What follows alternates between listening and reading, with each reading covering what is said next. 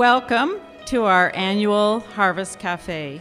I want to just thank everyone for coming out this evening. We are so happy to see so many turn out for this uh, annual event.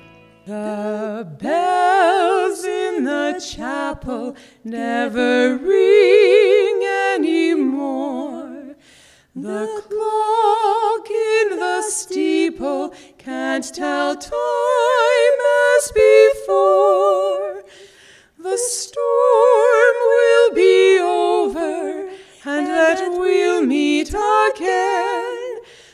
At the shrine of Saint Cecilia.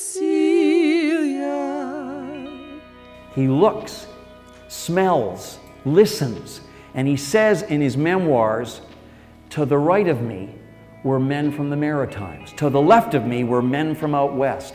Canada was taking the ridge. Not king and empire or some British general. Canada was taking the ridge. And the night after his attack on the 9th, he writes, and I love this phrase, he writes, I felt my first full sense of nationhood.